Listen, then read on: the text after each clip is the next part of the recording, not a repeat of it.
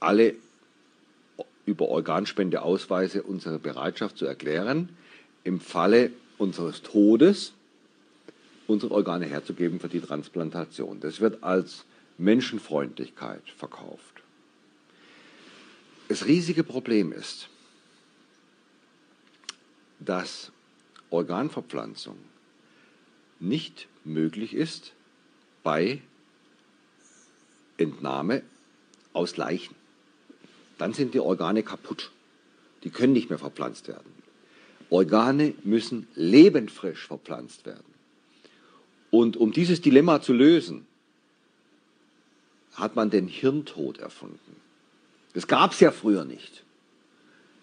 Es ist eine relativ kurze, juristisch, pseudowissenschaftliche Definition, dass es neben dem richtigen Tod, wo das Herz aufhört zu schlagen, dem Exitus, auch den Hirntod geben soll, wo das Herz ja weiterschlägt.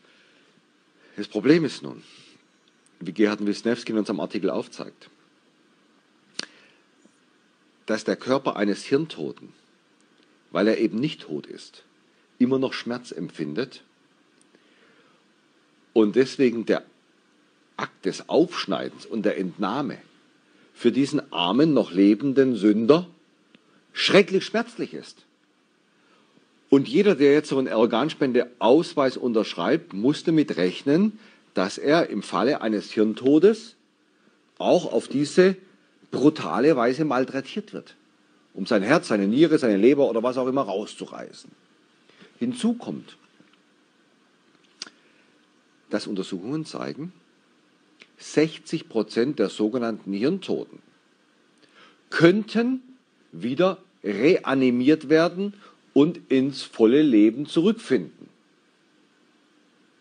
Aber wenn ihnen in der Zwischenzeit das Organ rausgerissen wird, dann sterben sie allein daran schon, weil ohne Herz kann man nicht weiterleben. Und das ist der Mordfall.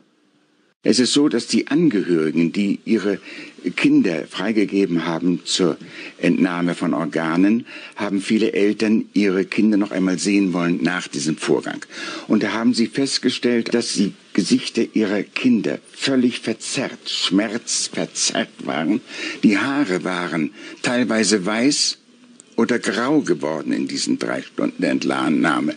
Alles unter dem Leiden fürchterlichster Schmerzen dass man auch weiß, dass äh, äh, diese zu explantierenden auf dem Operationstisch meistens festgeschnallt werden, die Gehirntoten, festge weil man Angst hat, dass sie sich aufstehen, dass sie sich aufrichten, dass sie den abwehren, den Chirurgen. Hm.